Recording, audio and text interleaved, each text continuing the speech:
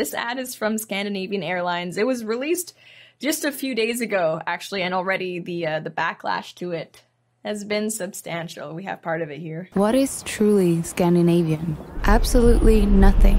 Oh my god, I can't remember who I was. Nada. Niente. There is no such thing. Everything is copied. Our democracy, credit goes to Greece. Parental leave, Thank you, Switzerland. Iconic Scandinavian windmill, Persia.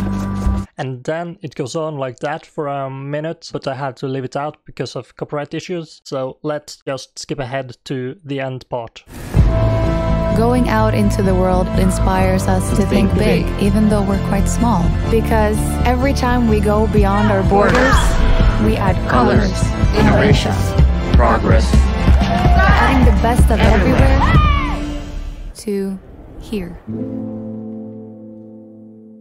In a way, Scandinavia was brought here piece by piece by everyday people who found the best of our home away from home. So, we can't wait to see what wonderful things you'll bring home next.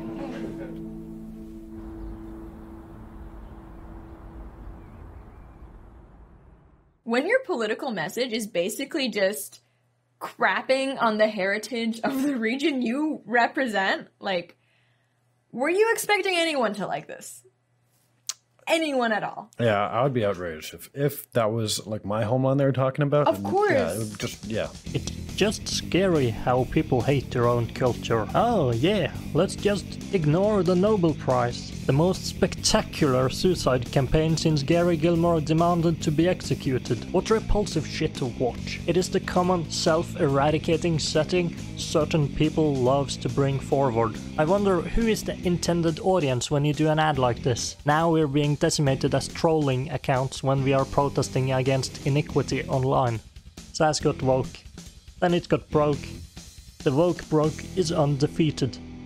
Ask Hollywood. I think we're watching the complete demise of celebrity culture and this faux activism they try to put on to seem virtuous. How dare you? You know, the only reason I think these celebrities pretend to care about causes is because they're ridiculously wealthy for basically no good reason. No one cares about movies anymore. No one goes to the cinema. No one really watches network TV. Aside from just being offensive to, you know, if you're like Norwegian, your your sense of national pride is also just it's not true. Like it's not true that just because your culture has aspects it's embraced from other cultures, which every culture Yeah, does, of course. you know, to a certain extent. That doesn't mean there's nothing unique about you. Like I mean, Yeah. It's completely false. Have you ever tasted Indian food in a tavern? yes. I mean, that's all you need to know. It's its own thing. Yeah. And let's pause here, because here's the kicker. It's an airplane ad. Their company mission is literally going beyond borders.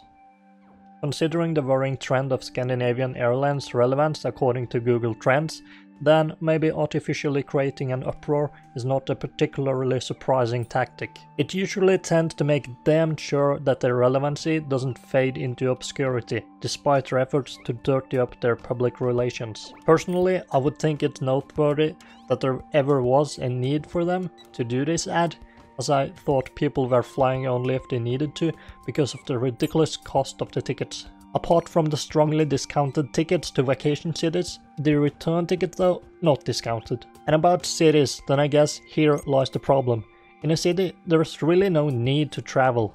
You've got everything you really need in your immediate radius, limited only by your car's reach or the public transport. Not to mention the later centuries' tendency to be generic clones of each other, gradually losing their very own distinct identity and characteristics. The very own things you'd go on vacation in the first place for. the ad reeks of that like the globalist post-national mentality that says there's nothing special or unique about any co- any country any any western country that is. And it, it's just not true. So it's especially i don't know how um i know with for example a lot of the national airlines um they are actually at least subsidized in part by the government. It's certainly true for air canada. Um i i Wouldn't don't be know. surprised if in a Scandinavian country it was that- subsidized. yeah, and, and that kind of makes this even more depressing because it's like your taxpayer dollars, if you're Scandinavian, are going to fund this airline that is, uh, I guess, not very respectful of Scandinavians. I know what I think of when I mention the Netherlands. Apart from hookers and weed, it's windmills, which according to Scandinavian Airlines are from Persia. But Scandinavian Airlines also say that us Scandinavians We take everything we like on our trips abroad, adjust it a little bit, and Voila! it's a unique Scandinavian thing. Well, by that definition, the windmills, which according to Scandinavian Airlines allegedly is Persian, aren't Persian, because the predecessor of the Persian windmills is the Egyptian water mills, the Noria. We can play this game for as long as sources wants us to go on, but that the origin of one thing comes from another country, does that mean that that particular thing does not belong to certain nations? Like, it's not true that just because your culture has aspects it's embraced from other cultures, which every culture Yeah, does, of course. you know, to a certain extent. That doesn't mean there's nothing unique about you. Like, I mean, Yeah. it's completely false. Do you not associate Brazil with football, carnivals, and coffee because football comes from China, Japan, Greece, Greenland, Australia, New Zealand? The carnival in Rio de Janeiro because its roots are Christian and Christianity is from the Middle East, and because it started in order to give honor to the Greek wine gods, the ones who introduced the samba music and dance were Africans, and because coffee originally comes from Ethiopia and Yemen? I'm sure you catch my drift. They can't say that invention X is not Scandinavian because the predecessor is from a non Scandinavian country, while they simultaneously say that invention Y is from its respective country, irrespective of its foreign origins. Some would call that xenophobic, racist, or even supremacist. But I'm going to stick with the describing word cherry picking. And yet, do the media and established politicians, or rather simply put, the, bourg- the bourgeois, still wonder why so called far right nationalist and patriotic people's parties are popping up in Europe like they were dandelions.